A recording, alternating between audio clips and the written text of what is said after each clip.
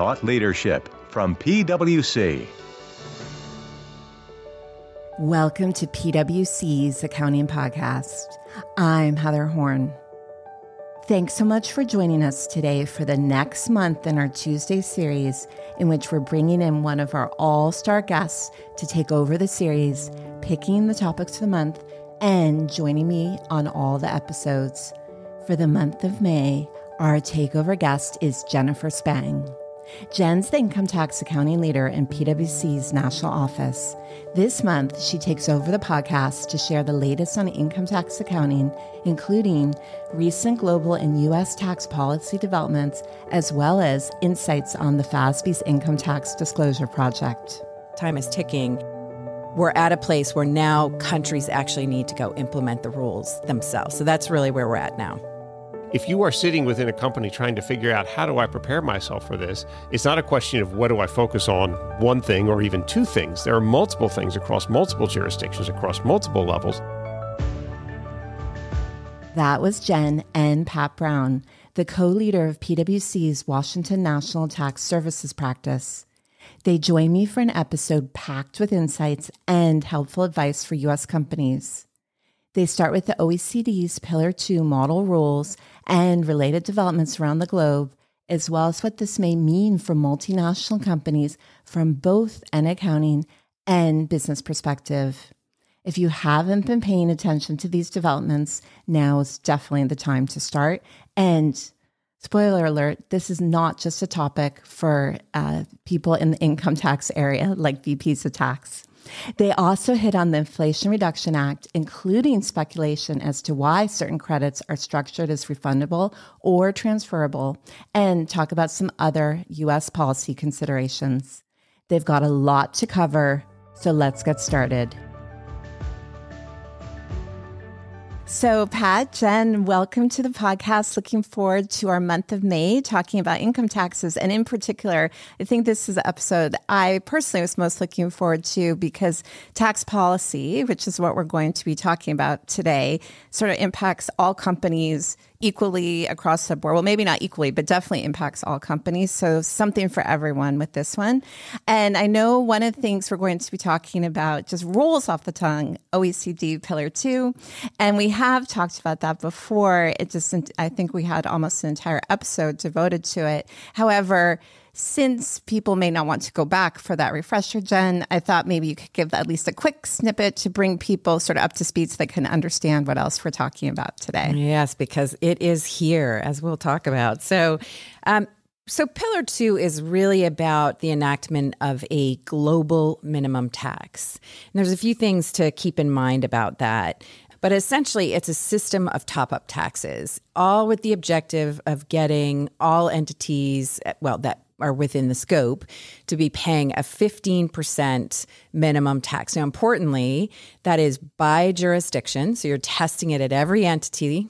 Um, and it is based on financial statements. So that's a serious departure from what we're used to in the tax world today. Um, so those are two really important things. And essentially, while under Pillar Two, all of the OECD member countries have agreed to this. What I think we're like two years back now. Time is time is ticking. We're at a place where now countries actually need to go implement the rules themselves. So that's really where we're at now. All right. Well, of course, I actually now I'm curious about Pillar One, but let's talk about Pillar Two first. then you guys can give me a quick Pillar One update. And for people who want to know more about Pillar Two and sort of mechanics and otherwise, we definitely have another episode that will uh, include in the show notes. But in the meantime, I know there's a lot of current legislative developments sort of around the world. So, Pat, what can you share with us? Sure, Heather. So, I mean, as a starting point, and and Jen alluded to this.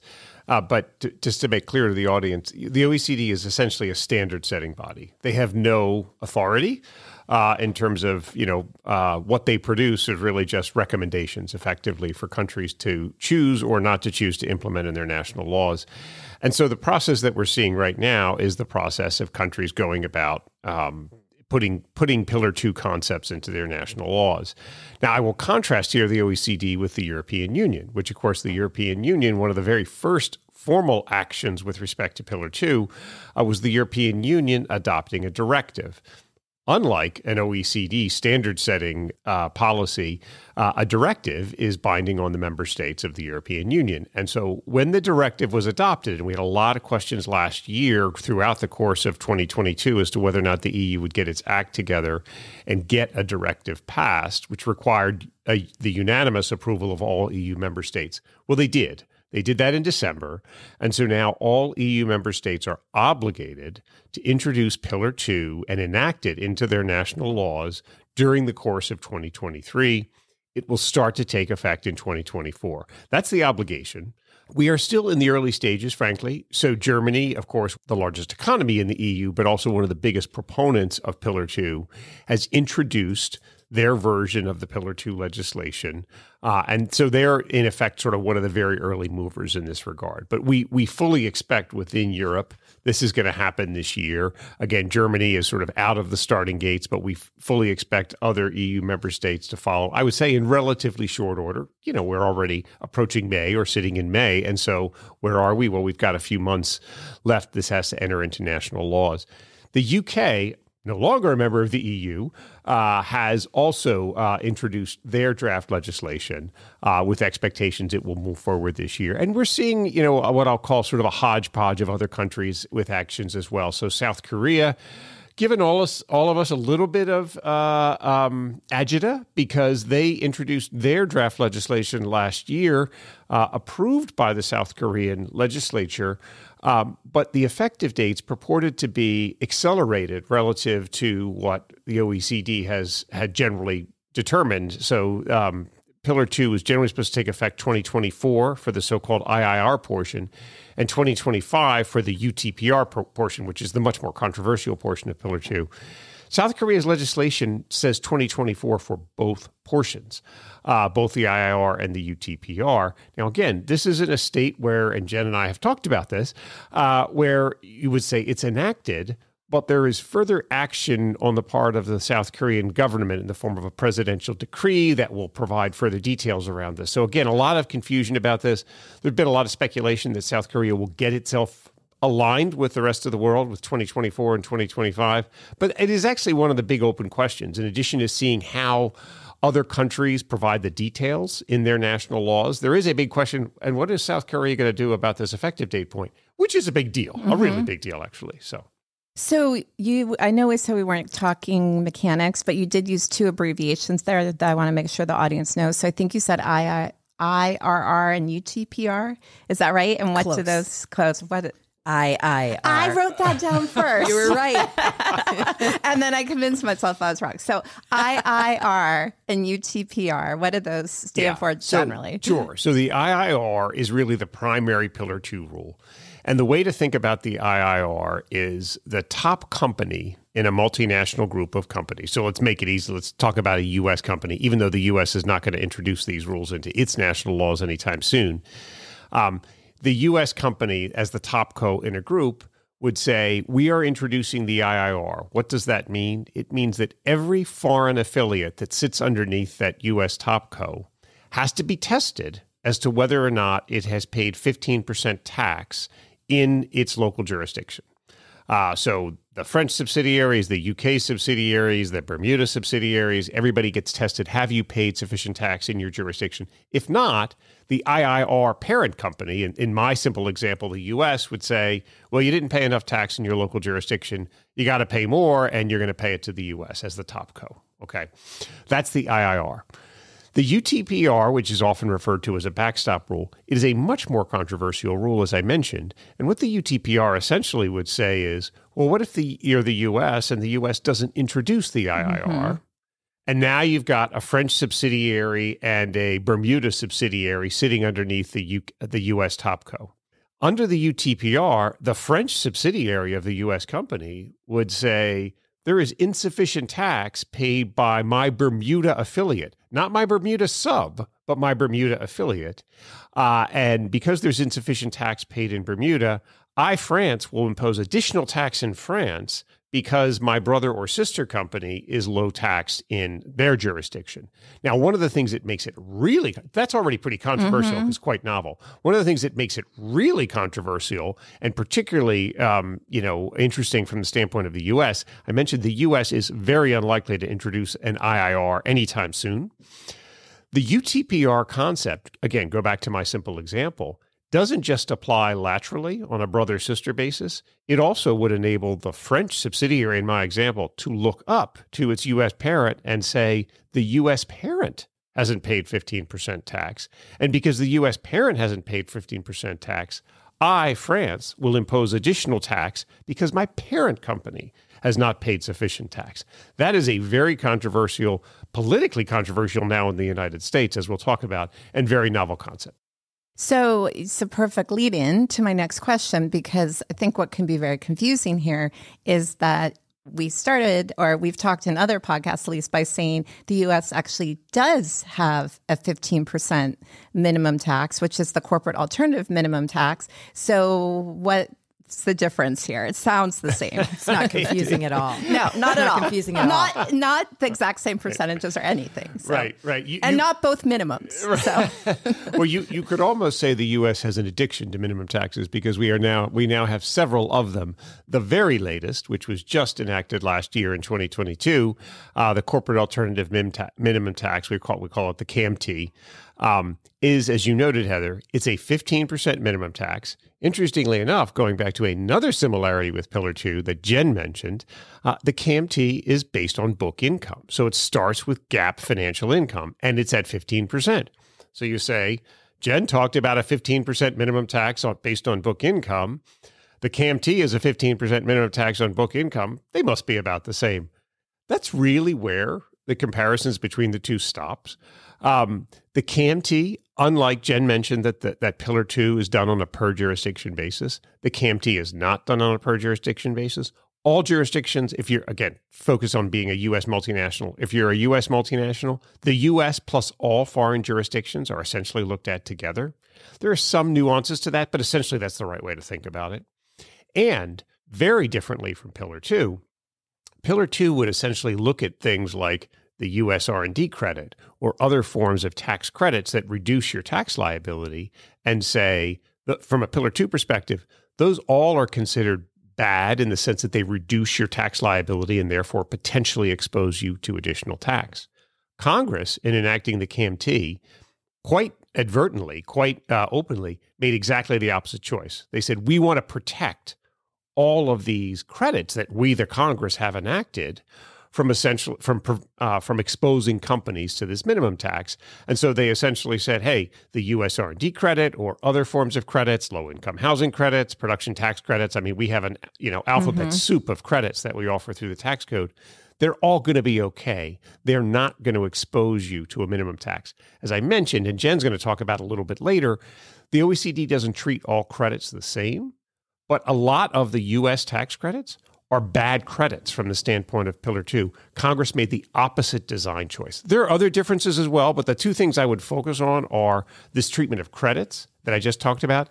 And the other thing, again, is the fact that Pillar 2 looks at each jurisdiction in isolation, and the CAMT looks at everything together. So, just to make sure I'm following on the latter point, then if I'm paying 30% in one jurisdiction and zero in another jurisdiction, and I have the same amount of income in both, book income in both, under the uh, CAMT, as you said, then I'm set. I've paid 15%, but under the Pillar 2, uh, it, it, it, wouldn't. Exactly right, Heather. So, so, and again, the the, complic- the the calculation under the CAMT is a little bit more complicated than that. Uh, so, I don't want to completely oversimplify yeah. But by and large, what you just said is correct. It is certainly the case to say that under Pillar Two, it does not matter you can pay 40 or 50 or 80% tax in one jurisdiction. That does you no good when it comes to assessing whether or not you're sufficiently taxed in another jurisdiction. The CAMT generally asks a very simple question Did you pay 15% tax on your income, on your book income? And if the answer to that question is yes, then you're done. Now, again, they make exceptions right, for credits right. and things like that. So, but it's a much simpler. I'm not going to suggest the CAMT is simple. Yes. It is a much simpler conceptual approach than Pillar 2. And Pat, the other thing there too is um, CAMT is refundable. So, from a Yes. big picture perspective, and when we think about it from a financial statement perspective, it's refundable. Any tax you pay under that, you're going, you can carry it Oh. forward indefinitely. And to the extent you're a regular taxpayer in the future, you can use that credit against it. That's very different than It- Pillar it's a great as well. point. It's a great point, Jen. And the timing mechanic could not be more different. So I should have mentioned that as well. That you know, Pillar Two, when when you talk about Pillar Two and timing differences, um, Pillar Two uses deferred tax concepts. The Congress does, did, did not use deferred tax concepts in the CAMT. They use this concept of you book a credit when you pay the CAMT, and as Jen mentioned, you carry that forward, and then in a future year, when your uh, regular tax liability is higher, you get to recover it. You basically get you know you can reduce your regular tax liability with the CAMT credit. So another key difference, probably three differences we should have highlighted, not just two. You know the the the jurisdiction versus overall calculation, the treatment of credits, and this treatment of timing issues. The credit concept that the CAMT uses versus deferred taxes in the Pillar Two world. So obviously, tax policy, U.S. tax policy, maybe in particular, is incredibly complex. But when I think about your example, your UTPR, where you said that French subsidiary could look up and grab taxes because they weren't paid in the U.S., why?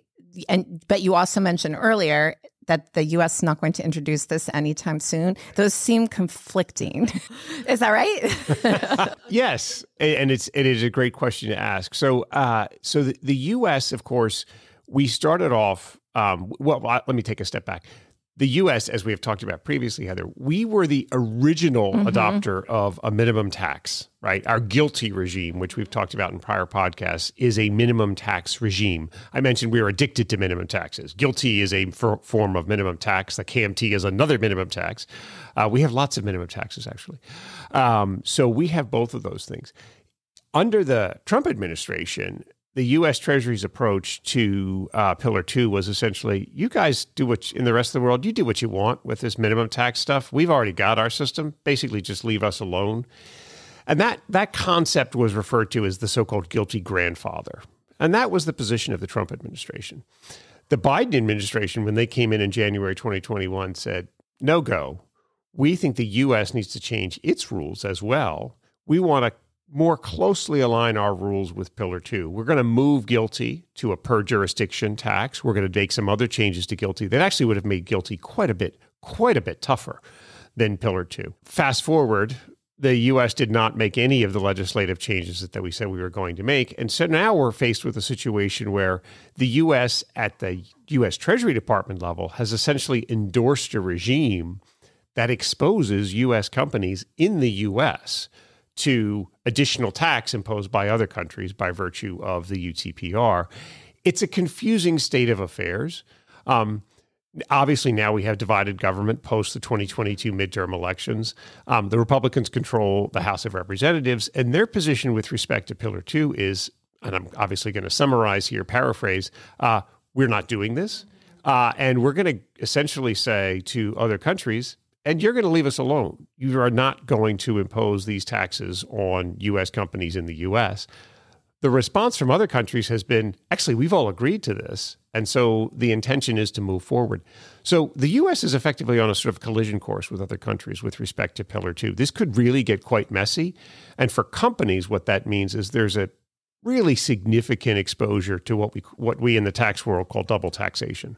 Multiple countries asserting the right to tax the same income with not a coordinated tax credit mechanism to avoid double taxation. It is a real concern. It is something that a lot of companies are very worried about. From a company perspective, Pat, I think fair to say just a massive amount of uncertainty.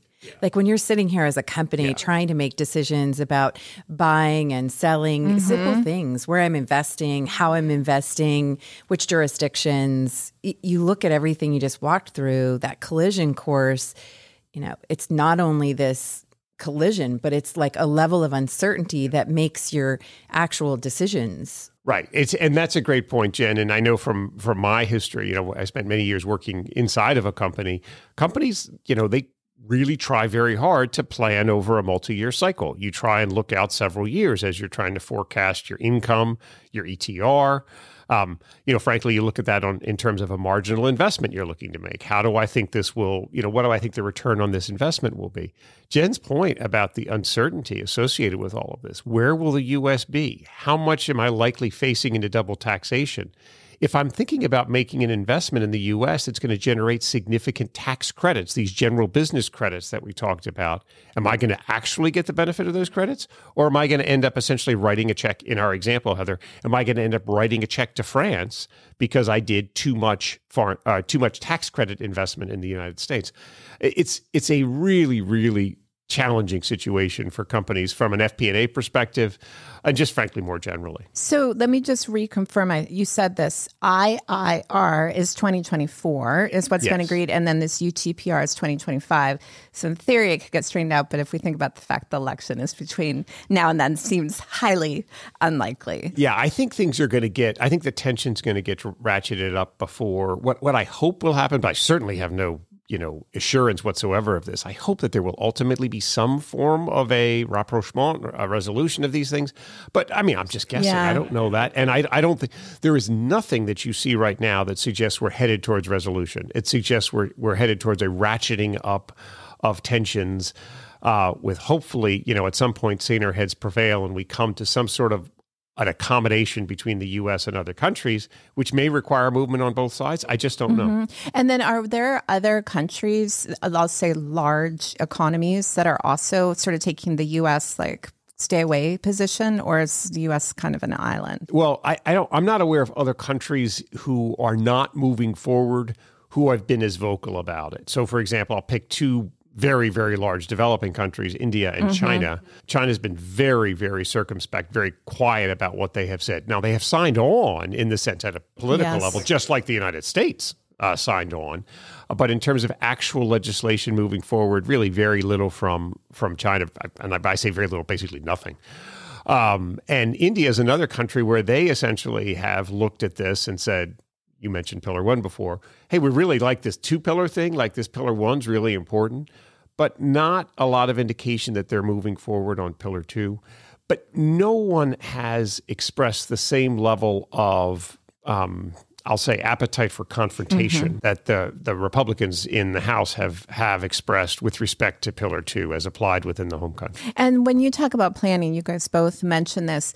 Is as you're meeting with companies, is this like sort of the top of mind headline issue from a tax VP point of view, or are there plenty of other issues we're going to get into? I, I, so I'm going to slightly oversimplify, Heather. I would say between Pillar Two and the CAMT, yeah. the U.S. minimum tax, that's probably about ninety percent of my day on you know literally day in and day out and a little bit more of that is pillar two so it's probably a you know 60 40 between those two uh, between Pillar Two and CAMT. But yeah, I mean, this is everybody is is focused on Pillar Two on a daily basis. Wow. So. All right. Well, it's almost hard to go to accounting after we talk about that's such a major business issue. However, you need to reflect business issues in your financial statements. So, big picture, Jen, what are the FASB and the ISB doing from an accounting perspective to deal with this new minimum tax? Yeah, I mean that's probably the only bit of good news here. I um, while getting at it in two very different ways.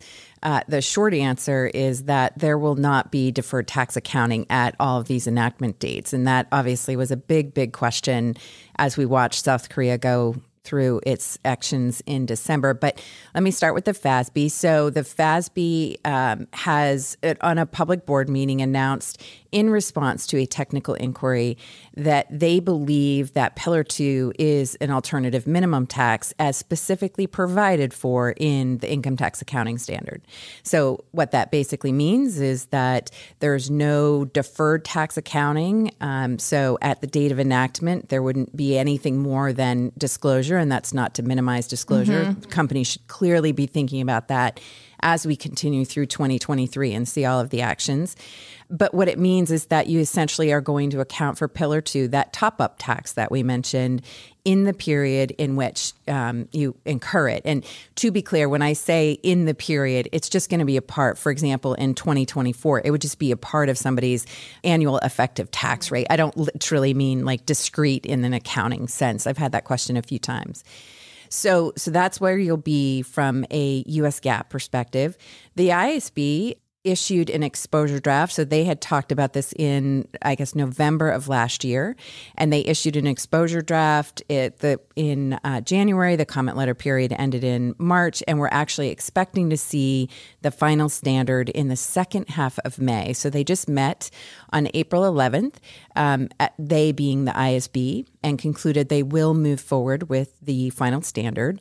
This standard basically will provide for a um, mandatory but uh, temporary but mandatory exception from deferred tax accounting. Now, what does that mean? I think it's important to note what it doesn't mean. It doesn't mean that the ISB has concluded that deferred taxes are actually necessary. Mm-hmm. Um, when you look at the basis of conclusion, what they've said is there's a, a, lot to be answered and there's a lot of information that's not yet available, not the least of which you have this staggered effective date between IIR and UTPR mm-hmm. and sort of a mixed bag as to how that's all going to all going to look and you know we haven't even gotten into qualified domestic minimum top up taxes, which is a whole other animal, right? But the point is, the ISB recognized that there was a lot of lack of clarity. Mm-hmm. And so they haven't concluded that it's necessary. What they've said is this is a temporary mandatory exception from doing deferred accounting. So they're taking away the uncertainty.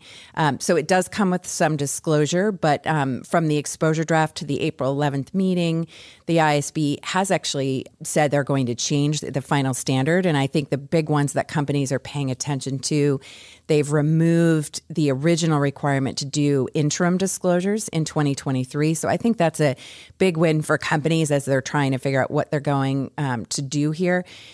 But the other one that they're doing is they had a pretty lengthy disclosures that dealt with when a um, you had an enactment but not yet effective details that you needed to provide. And a lot of them focused on your effective tax rate under IAS 12, so the income tax accounting standard um, for IFRS. Uh, what they actually are going to replace that with is a much more qualitative discussion that deals with where a company is. If there is a known or knowable estimate, companies should expect to apply it, but they can also do it in a range. And when I say it, I mean a known or knowable estimate of your pillar two, that top up tax. So we will see in the final standard some adjustments to the exposure draft, but I think all moving in a very positive direction. And at the end of the day, very different path, but getting to the same answers. There will be no deferred accounting at the date of enactment. So I think that's good. Um, you know, I think when you layer in the uncertainties mm-hmm. just around the law and the integration of every single jurisdiction implementing these a little bit differently, it really does make sense. This is going to be a tax in the period. So, but to that point, if I take a step back and I think about Pat's point that you know this is what's top of mind. Well, this and the the um, CAMT are sort of top of mind from a tax perspective. So then if it's not accounting, and I know Jen, you're often talking to people about accounting, but what advice you're giving to people now? Because with this amount of uncertainty, you can't do planning. You, I mean, there's so many things you can't do. So what can you do? Well, maybe I'll, I'll, start. I'm guessing Pat has some thoughts on this as well. You know, really what we're seeing companies doing right now is modeling because right now what you need to do is figure out do I have the data? Do I have the mm. systems? Do I understand? Do I have all of the stakeholders in a company? Keep in mind what we talked about. This is based on financial statement income or loss. So, anybody who talks to me very much knows I'm always talking about the integration yeah. of tax and accounting and put it together along with the business. Well, if you weren't convinced before, Pillar Two would be the time mm-hmm. because you really do need to bring all of that together the business, accounting professionals, and tax professionals, because without one of those legs, you will get this wrong. So I think really what we're seeing now and what we're encouraging companies to do is do the modeling, figure out where your gaps are, little gaps, right? So figure out your little G's, like what what do I need in the data but I don't have mm-hmm. available? Mm-hmm. How am I going to produce this? Because keep in mind, effective in 2024 you won't be filing a tax return for how long after right. that? Depends on the jurisdiction you're in, right? but you're going to actually need to reflect this in your financial statements beginning with the first day of your year right? So it's going to be baked into your effective tax rate. It's going to impact your entire tax provision.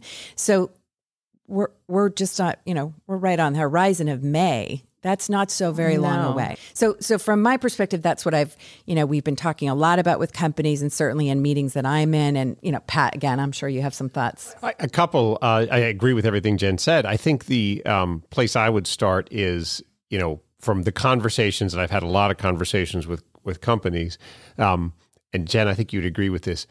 Very few, maybe to as few as none, um, would do a. If you're a U.S. GAAP filer here, would do a U.S. GAAP sub consolidation at a foreign at each foreign jurisdiction level. Right.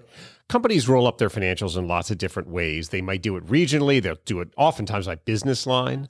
Um, but the idea that you would have sort of a, a U.S. GAAP um, level sub consolidation in each jurisdiction around the world, if you're a US GAAP filer, or an IFRS sub consolidation, if you're an IFRS, companies just don't keep their books that way, right? And so Jen's point is look, if you're the tax director of one of these companies, you, you, know, you have to be talking to the controllers. You have to be talking to the other people in the finance function, in some cases, even outside of the finance function, because some of the data that's required under Pillar Two about employees and location of employees and things like that, I won't you know torture people with all the details on this but there's a lot that is required that is outside of the tax department's domain um, uh, most of that is in the finance department uh, of, of, of, companies. But so there's a great deal of information that's required that will require tax people to go have conversations, which I'm sure a lot of these conversations are already happening. I know they are. And of course, the reaction from controllers and others is always some version of, you've got to be kidding me. Like, this doesn't make any sense. What, how can this possibly be? Uh, who agreed to this, et cetera, et cetera. Uh, and so that there's a huge amount of work that has to happen. And as Jen mentioned, time is very short. It is really coming upon us very, very very quickly. So I think, you know, while while uh, I wouldn't say that panic has set in, a real sense of urgency has set in uh, on the part of virtually every company that I talk to that this is not something that sits anywhere in systems today. It's got to be created. There is a little bit of a silver lining here I want to point out to people, or a little bit of a bright spot. One of the things that the OECD did was provide some what we call transitional safe harbors that provide for, in a lot of cases, a radically simplified calculation for the first couple of years. Now, they're not perfect, they're not a panacea. If you qualify for these safe harbors, though, and, and qualifying for those safe harbors essentially is you take an existing, what we call a country by country return uh, that's that the OECD has already had in place that companies have already been filing for a couple of years. It is a very simple calculation relative to Pillar Two. Relative to Pillar Two, very simple. If you qualify for a minimum, having paid a minimum amount of tax under that computation, you can essentially say, "I'm done with this this particular jurisdiction." The reason I say it's not a panacea is you either qualify or don't qualify for the safe harbor. If you don't qualify for the safe harbor in a jurisdiction, you're doing the full blown Pillar 2 calculations. And I haven't spoken to any company who says, I qualify for the safe harbors in every jurisdiction. So you're still going to have a meaningful number of jurisdictions where you got to do the full blown computations. To Jen's point, all that's got to be reflected in your financials starting next year. So it is coming and coming fast. There is, again, the OECD tried to provide a little bit of breathing room, and I think it's helpful, mm-hmm. but it, again, far from a panacea. Well, and Pat, you, you can correct me if I'm wrong, but those country by country reports, those aren't something that anybody's audited to date no. or looked at, right? Those are reports that companies are filing with the government, not publicly available, at least not yet. Um, so you know, there's there's a lot to be said there. Yes, a huge amount of uncertainty around that as well. Good point, Jen. so, but I guess what you guys are both saying is one way to deal with the broader uncertainty is to at least make sure you have all the information because then once there's more clarity, then at least you'll be able to apply it. But I mean, you're describing an incredible amount of work that needs yes. to be done. Yes. And I guess, Jen, the other thing that kind of occurred to me as you guys were talking, this also in some ways puts pressure on IFRS US GAAP differences because if you're a US GAAP reporter versus IFRS reporter, in some cases, you may have different book income, in which case means identical companies are paying different tax. I'm not saying FASB and IASB are dealing with that now, but it seems like in the long run, that may also have some impact from a reporting perspective. Well, there's no question it will have an impact from a reporting perspective, and particularly in those industries where you're sort of split on the big companies, where you're sort of almost completely right. split between US GAAP and IFRS. And there's no question that those differences, that's something we've talked about right from the beginning. You know, it's important to realize these are your GAAP whatever GAAP it is, yes. whether it's IFRS or US GAAP, but it's your GAAP financial statements. It's not like your local statutory accounts. So intercompanies are respected and honored in this model. So, you know, there's there's a lot there um, that that you know ultimately. I've heard some say the the pain of it almost maybe I don't know Pat if you have a perspective on this but you know some companies might get to a place where the actual top up tax isn't um, you know necessarily substantial. It still might not be helpful, but but the compliance exercise, even if, right? I mean, is that a fair statement? Oh, oh, I mean, I have talked to a number of companies who say they expect the actual tax impact of Pillar 2 not likely to be material to them, uh, but the compliance burden is very significant. And again, it's it's person hours associated with getting ready for this. It's also a huge amount of potential mm-hmm. cost and systems and things like that. So, I mean, it is at least as big of an issue as the actual change to your tax liability for many companies. Mm-hmm. All right. Well, quickly, I know we have a few other topics, but I do want to at least ask about Pillar One, uh, just get a brief update. So, Pat, I don't know if there's something you can share. Is it moving or is it stuck? Stuck. Uh, so, what Pillar One is, just to remind folks, and I will be do this very quickly. Uh, Pillar One, which really was the original impetus behind this overall project, uh, is essentially an initiative to say, to the extent companies are I'll put this in quotation marks, doing business in a jurisdiction or selling to customers, products or services to customers in a jurisdiction. But under traditional tax concepts, they don't have a significant presence in that jurisdiction. They may have no presence in that jurisdiction. So you think about this as largely the digital economy, although it's not limited to the digital economy. Uh, but companies who essentially have profits in a jurisdiction without presence in the jurisdiction. Uh, then the jurisdictions, the so-called market jurisdictions, looked at that and said this is inappropriate. We we need to come up with a mechanism to get some of the taxing jurisdiction shifted over to our to us as the market jurisdiction. We are the market. We have some right to tax the value that's being extracted here. Uh, and Pillar One is intended to provide that. Now, unlike Pillar Two, Pillar One from the very beginning, it was clear that Pillar One had to move forward through a treaty, a multilateral treaty that has to be signed on and ratified by jurisdictions to take effect. Um, that is very unlikely to happen. Uh, in particular, one of the things that was agreed about a year ago uh, was that in order, because so much of this involves the United States, so much of the big companies uh, who are essentially the target of Pillar One uh, are U.S. companies. Uh, the OECD agreed that this couldn't really take effect for any country unless it was agreed by the United States. Um, treaties don't move very quickly in the United States. Uh, tax treaties move even slower. Multilateral tax treaties don't happen at all.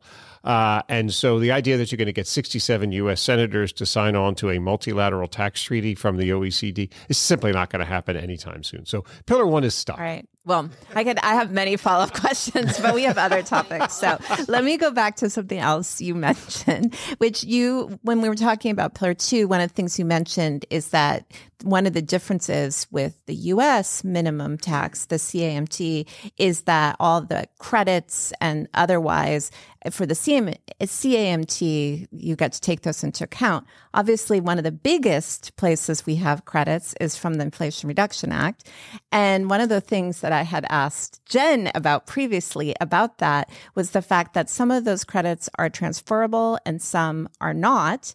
And why is that? And she said, Pat, that you would be able to share all of your knowledge on this topic. Yeah, this is a head scratcher. I'm just going to say it. Um, so, um, and and I know we're going to talk about this a little bit more. You can think about credits broadly speaking in the United States in three buckets. Um, there are what I will call regular credits, and these are essentially so think about like the U.S. R and D credit. Um, to the extent you have sufficient tax liability, you reduce your tax liability by the amount of this credit. If you don't have sufficient tax liability, Mm-hmm. you're done. You know, essentially now you can carry it forward and use it in a future year when you have tax liability, but you can't do anything else with it. That's the sort of, you know, I'll call kind of the baseline garden variety credit. The Inflation Reduction Act introduced uh, a concept of a transferable credit. Uh, this is, I think, a brand new animal in the United States tax system. We didn't have this previous to the Inflation Reduction Act, which which was enacted last year. Um, and essentially, what the concept of a transferable credit is: you undertake an activity that entitles you to the credit, but you have insufficient tax liability to monetize the credit currently. Uh, and so you say, well, I could wait until next year, uh, carry the credit forward, and try and use it next year, or could sell it to Jen. Jen has sufficient liability to utilize the credit this year. Now, Jen is not going to pay me 100 cents on the dollar for the credit because otherwise there's nothing in it for her. Maybe she pays me 90 cents, maybe she pays me 85, maybe she pays me 98. I don't, but the market will figure that out. Um, but I will transfer the credit to her. I will get cash. She will get the credit, which she will then utilize, presumably on a current basis, to reduce her tax liability. Uh, that's the concept of a transferable credit. So that's sort of second bucket. The third bucket, sometimes we call it refundable. The, the, the Internal Revenue Internal Revenue Code uses the concept of direct pay, and essentially what that says is if you have insufficient liability against which to currently claim the credit, you can just tell the government and they will send you a check. Uh, so, you know, a refundable credit, effectively. Again, we call it direct pay in the U.S. Internal Revenue Code. So, look, I think direct pay or refundable credits have clearly been disfavored in the United States historically. I'm speculating here, Heather, but I think some of that is, you know, concerns about potential Mm. fraudulent activity. You know, you can you send the government a notification and they send you a check. Um, you can understand why you might want kind of more belt and suspenders around that. It also has some clear impact on, you know, who is eligible to claim the claim the credit. So, for example, take like the R and D credit, which is not a refundable credit, not a direct pay credit. Um, you know, if I have a great idea to start up a business in my garage, and at least I think it's a great idea, uh, and I spend a lot of money doing research and it never amounts to anything, um, I'm out of pocket.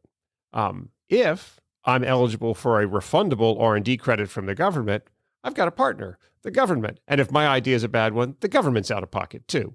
Um, so you might we could argue as a policy matter whether it's a better idea for the government to actually say no actually i want to fund pat's garage uh, fantasy experiment that maybe turns into a great thing. Um, we don't you know that's that's a, obviously a policy discussion people could have uh, but we don't have that mechanism and we historically haven't had it for most of our credits Clearly, in the Inflation Reduction Act, Congress wanted to do something a bit different. They wanted to introduce a mechanism to make it mm-hmm. easier to monetize, particularly these green energy credits. They wanted to change the game. They made some of these credits direct pay, but for the most part, they did not. They said, we're going to introduce this novel mechanism of transferability. So that becomes the mechanism. Before the Inflation Reduction Act, if we were talking about credits and taxpayers had insufficient ability to monetize them, there was a structure that had been developed by the market. We call it tax equity for some of these credits.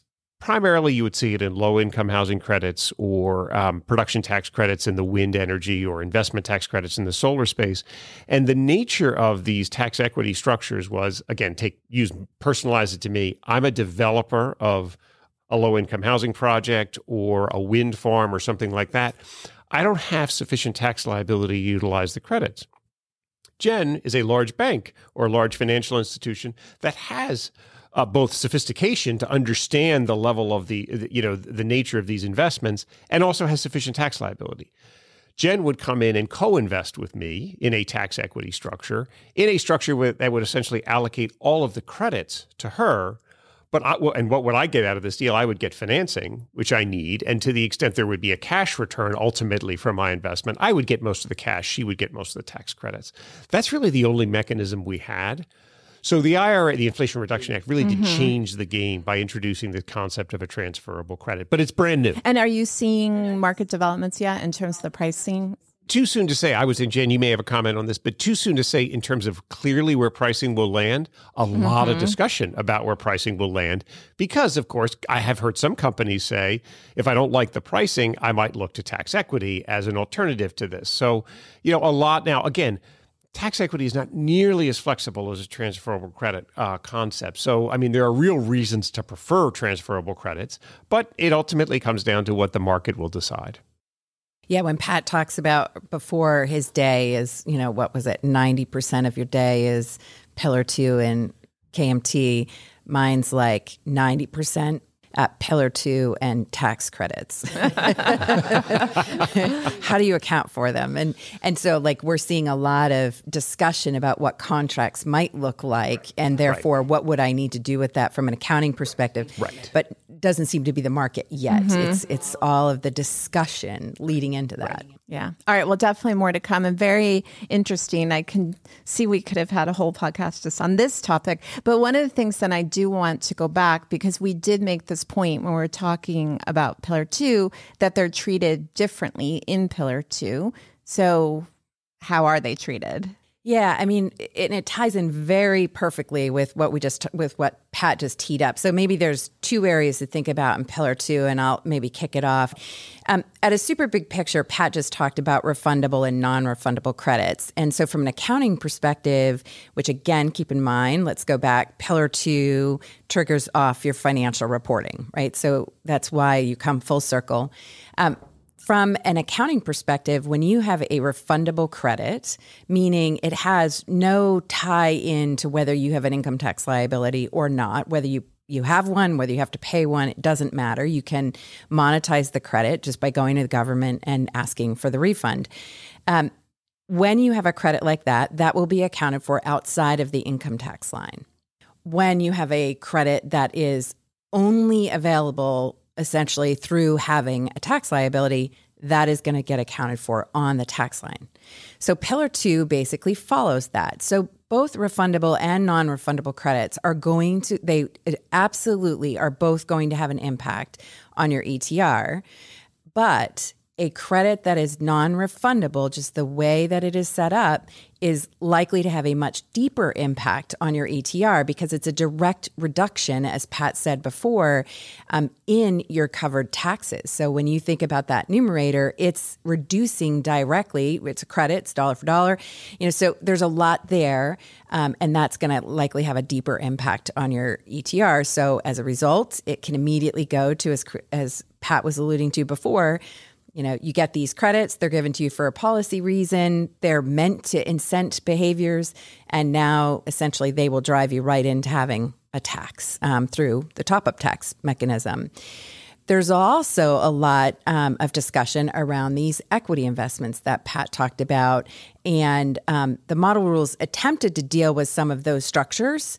Um, you know, debatable how far we really got. And there's been some additional guidance. But Pat, I'll let you go from there because I know that's something you've been answering a lot of questions on. I know you and I have talked a lot about it, but let me let you weigh in there. Yeah. So we talked, Heather, about tax equity. Uh, and it's uh, when, when the model rules from uh, the OECD Pillar 2 model rules were released, there was there was just a distinction between refundable credits and all other credits, and that was it. And as Jen mentioned, um, non-refundable credits, the all other credits category, just reduce your ETR essentially dollar for dollar.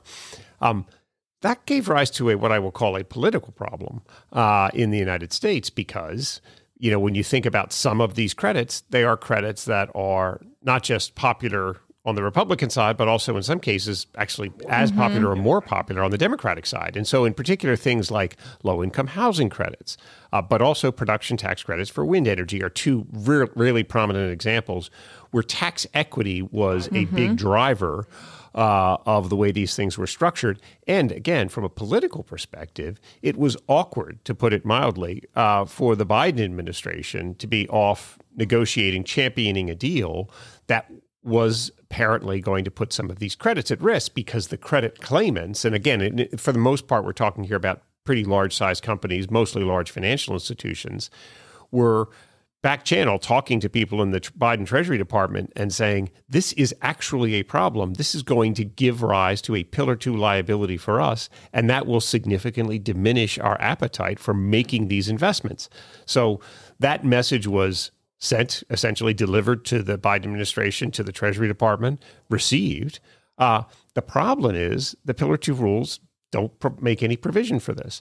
There was some uh, early on. There was people pointing to some language in the Pillar Two rules that talked about equity method investments generally. Well, can I can I grab onto that language and say that if it's an equity method investment, I can just exclude the credits entirely from the computation of Pillar Two? Um, that always seemed a little heroic to me that they would be able to kind of bring that home, but that was sort of where the conversation started. Ultimately, what happened in the OECD's most recently released administrative guidance, this is now only a couple of months old, by the way. So this this is an issue that was really lingering throughout all of last year and really bothering companies, but also bothering the Treasury Department. What do we do with these tax equity structures, low income housing credits, production tax credits? So the OECD essentially agreed to a brand new concept. Um, and essentially, at a very high level, what it provides is to the extent you are an investor in a tax equity structure uh, and you are claiming essentially a return on an investment that is very largely in the form of tax benefits, tax credits, accelerated depreciation, but call it tax credits just to make it simple. So your economic return is really in the form of tax credits. Uh, you're an equity method investor in that in that structure. You can essentially say most of the tax credits that flow back to me, and I'll clarify what I mean by most. Most of the tax credits that flow back to me, I can ignore for Pillar 2 purposes. Now, this is an entirely made up result. I want to be clear on that. They didn't sort of point to the model rules and say, well, here's the relevant language that permits this interpretation. They essentially said, we're going to make up a new, we're going to make new law. Uh, and apply it to in the Pillar Two context, and the, the the realization was: look, if you're a bank, you invest $100 in one of these things, you're going to get back $120 in tax credits it doesn't make sense normatively, they would say, to have a $120 ETR reduction. So where they landed was to say if you make the investment, you meet the qualifying conditions, the first $100 you get back, we're going to ignore that. The return of your invested capital will be ignored if it comes in the form of tax credits, will be ignored for pillar 2 purposes. But going back to my example, you get to your 101st dollar, that is going to be a reduction in your ETR. Now, from the standpoint of the banks, the financial institutions, and, and, other big investors in this, that basically gets them close enough. They look at that and they say, okay, I invest 100, I'm going to get $120 in tax credits. If $120 was going to be all a reduction of my ETR, that's a disaster. If it's only the 20, I might have an issue, but I think I can live with that. And that's where we sit right now with respect to this uh, this concept, so-called qualified flow-through tax benefits. That was again introduced, brand new concept, just a couple of months ago by the OECD. And, and I will just say, I, there's a lot of language in there, Heather, that you probably you could at least um, connect to, or it might sound a lot like when we talk about things like equity method accounting, proportional amortization, the EITF project that was just finalized in a new standard that expanded potential potentially, well, I mean, depending if you qualify um, for these equity investments on proportional amortization. So, once again, it's like dancing around all of this language and other issues that we have in financial accounting. And how does that apply here?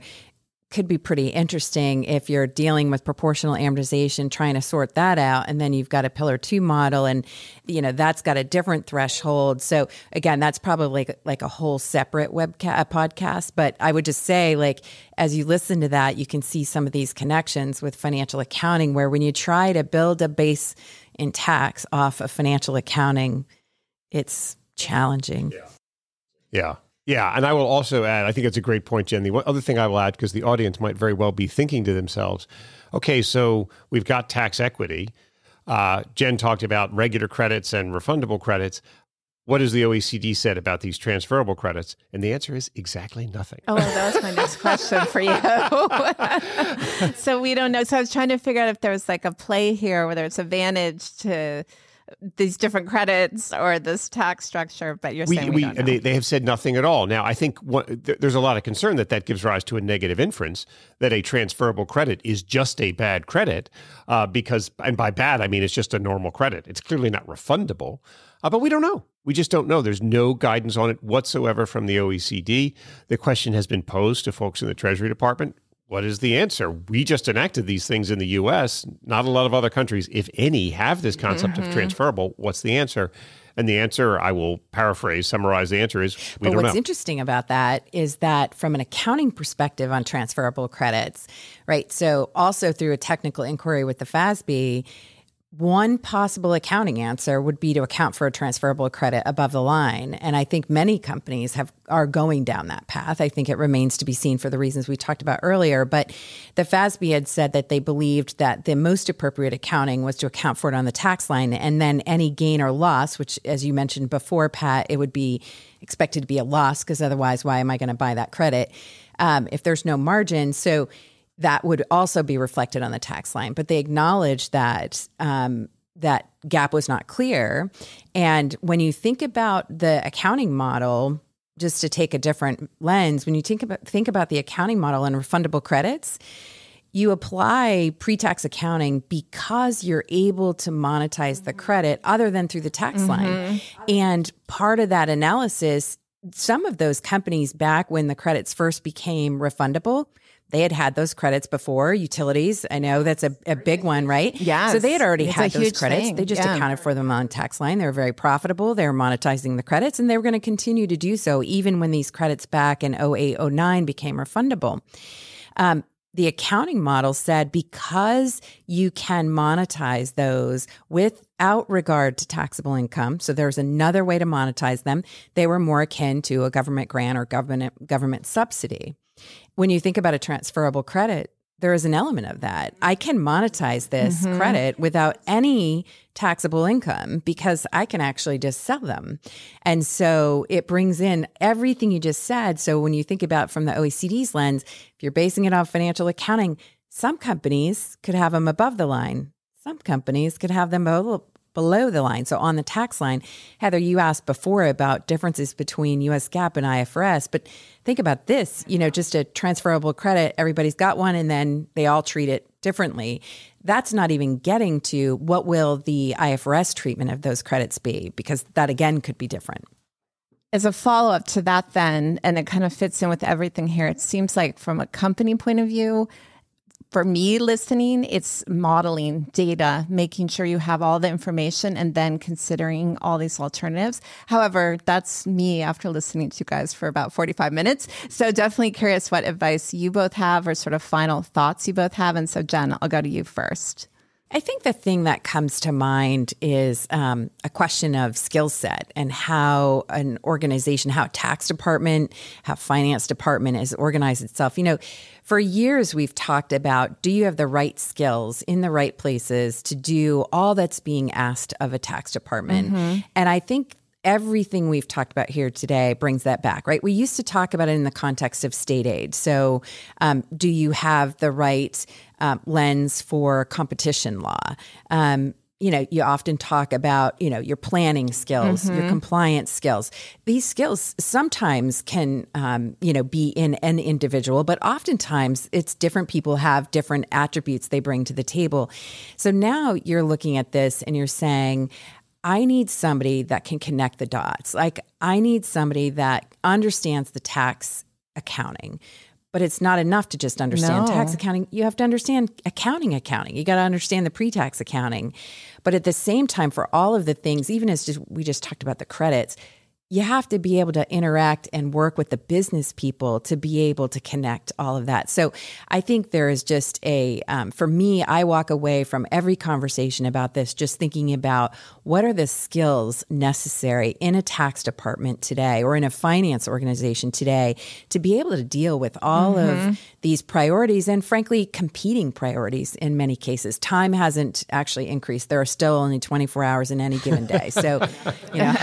well, and real dollars here too that you're talking about. I think sometimes other accounting uh, not to, to say it's not very important, but here, just the conversation we are just having, it can make a real difference in, in how much a company realizes. So, Pat, how about from your perspective? Well, I, I agree with everything that Jen said, and you know, the analogy that I keep coming back to, as I as I even hearing our conversation, you know, you, you sometimes see these um, uh, pictures of spectators watching a tennis match, and their eyes go back mm-hmm. and forth and back and forth as the ball goes back and forth over the net. Um, the problem with the current situation, if you're the tax director inside of a company, or frankly, even some of the non tax folks preparing for this, is you don't have to look in two directions. You have to look in so many different directions at once because, you know, we talked about early on about countries implementing this and various stages of implementing. And, and Jen has alluded a couple times to an important point, which is countries are not implementing it exactly the mm-hmm. same way. And so you, it's not going to be one size fits all across countries. In addition, one of the things I mentioned earlier is the OECD has released interpretive guidance, they have already said they're going to release more interpretive guidance. So they're intending absolutely to provide more substantive rules that will basically influence and inform the way these rules actually take final shape. Uh, again, that's at the OECD level. You've also got the national country level. So if you are sitting within a company trying to figure out how do I prepare myself for this, it's not a question of what do I focus on one thing or even two things. There are multiple things across multiple jurisdictions, across multiple levels. Obviously, one of the things very of great interest to this audience is, and how will the accounting mm-hmm. profession kind of take on board these concepts. Jen talked about a lot of the questions that have fortunately been answered around things like deferred accounting for pillar two but there's a lot more we still don't know the answer to uh, as you know as as the rules overall take shape so you have to look at a lot of different a lot of different directions at once unfortunately and i don't think there's a way around that all right. Well, it definitely sounds like I should be uh, scheduling our next podcast now because we have plenty more to talk about. But both, it's such a pleasure to have you on. Thanks so much for joining me today. Thanks for Thanks having for us. having us. That's our show for today. Tune in next week for more fresh episodes. So that you never miss any of our audio content, follow the PwC Accounting Podcast wherever you listen to your podcasts.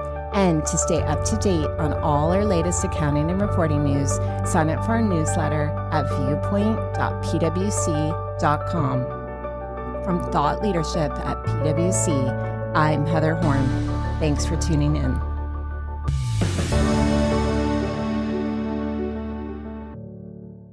This podcast is brought to you by PwC, all rights reserved. PwC refers to the U.S. member firm or one of its subsidiaries or affiliates, and they sometimes refer to the PwC network. Each member firm is a separate legal entity. Please see www.pwc.com/structure for further details. This podcast is for general information purposes only and should not be used as a substitute for consultation with professional advisors.